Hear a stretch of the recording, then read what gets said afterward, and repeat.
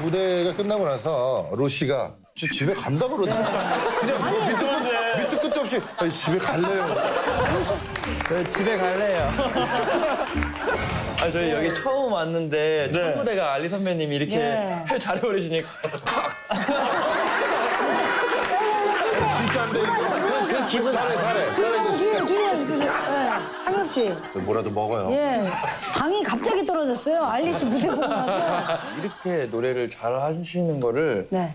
그러니까 실제로 보는 게 거의 처음이다 싶을 정도로 처음 봤구나. 그리고 이걸 이제 편한 시청자 입장에서 볼 때랑 이렇게 네. 같이 이제 무대를 해야 되는 입장에서 볼 때랑 또 다르잖아요 이게. 아니 다르죠. 어. 아까 저는 예찬 씨만 보고 있었거든요.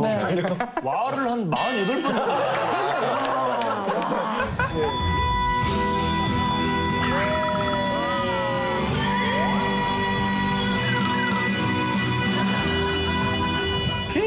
맞아요. 진짜 깜짝 놀랐어요.